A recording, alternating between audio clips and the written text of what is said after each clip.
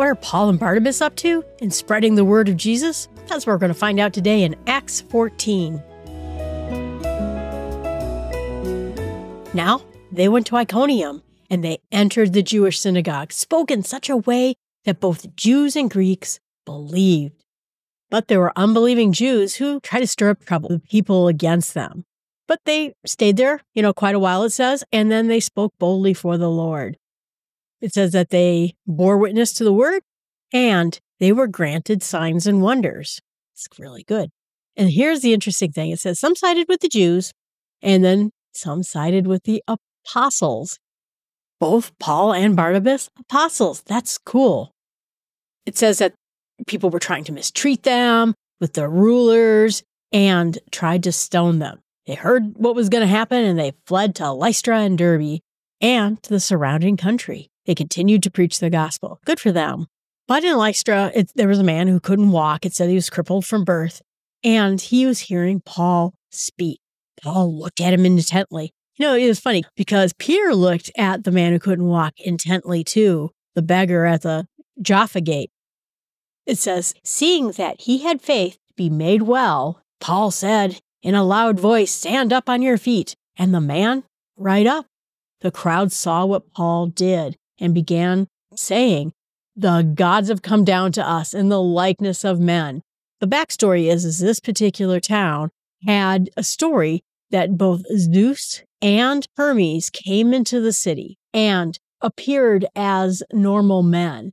And when nobody gave them the hospitality they thought they should be given, they wiped them out. They wiped out the whole population except for this one couple. Maybe that couple did okay.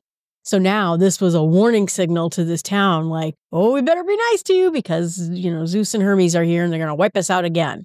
Oh, goodness. So the apostles were, heard this was happening and saw that the people in the town wanted to start sacrificing to them because they thought they were Zeus and Hermes. I thought was interesting because, you know, there's always this like, well, why did Zeus be Barnabas and Paul Hermes? And some people say, well, Paul was kind of the spokesperson and Hermes was someone who sent messages. You know, he, he was the messenger.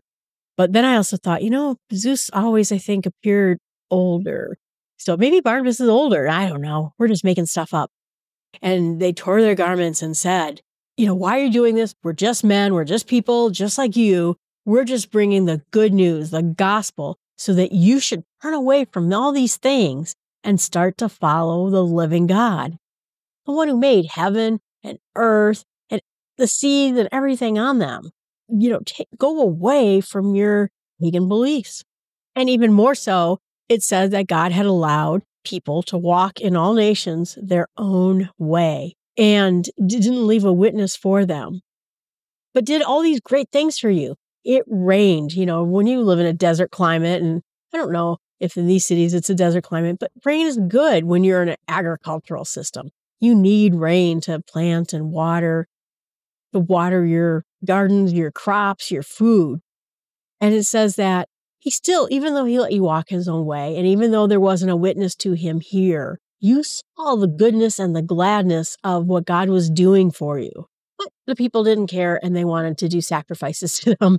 Not all Jewish people, because some of the Jewish people were believing, but Jews came from Antioch and Iconium and persuaded the crowds, and they started to stone Paul, dragged him out of the city when they thought he was dead. And when the disciples, the followers of Jesus, stood around him, he got up and he went right back into the city and made more disciples. Then they returned to Lystra and to Iconium and to Antioch. It says interesting thing. It says strengthening the souls of the disciples, you know, to encourage them to continue in the faith and the tribulations, you know, telling them, you know, there's going to be tough times. This is going to be hard. They appointed elders with prayer and fasting and committed them to the Lord who they believed. We're now setting up a, a church structure. My thinking about this, it, it was like, there's ways to make converts to any religion, right? You have social pressure, or you put your boot on their neck and tell them they have to or they're going to die.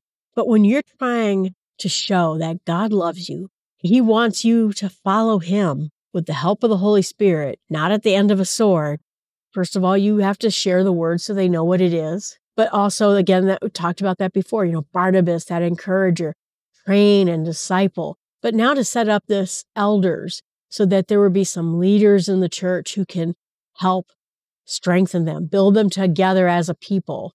It reminds me too of Moses, you know, Moses is out in the desert and what is God doing? He's turning them into a people. This is what we're doing in the church now. We're going to have these elders and we're setting them up in the right way with prayer and fasting so that they can go do the mission of God. They went to a town called Pamphylia. Now, it was my big theory that this is where pamphlets came from, and it turned out not to be true. Pamphlets are not from this particular area. Then they kept going. They went to Perga, Attalia, and then they sailed to Antioch again, where they commended the grace of God because they said now that their work they had fulfilled. They arrived and gathered the church, again, churches of people, not a building, together, and they declared that God had done with them and had opened the door to faith to the Gentiles. They did what they were supposed to do, and now it's your time. Faith to the Gentiles is open. And they remained, it says, no little time, meaning they stayed a long time. Say it a little bit more clearly, but that's okay. Luke's a wonderful writer. And that ends Luke 14.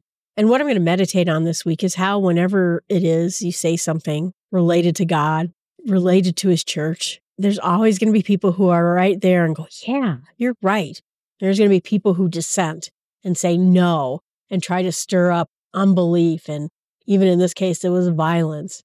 But even in that case, Paul showed you have persistence. You keep preaching and you keep going for it. You keep doing the word of God, regardless of what happens.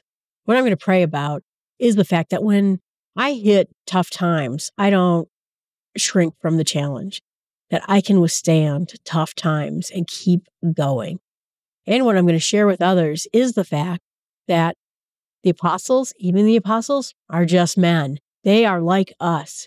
I think it makes them more human. They had their strengths, they had their weaknesses. We saw that all through the course of the Gospels. They are people like we are. But in this case, they are going out and doing the bidding of God and being bold about it. Everyone, thanks so much. I appreciate you listening to the podcast. Please remember that you can always email me at jill at smallstepswithgod.com. I would love to hear from you. Are you reading the Bible along? Are you enjoying this slow roll through the Bible? And I hope it's informative to you. Thanks so much for listening.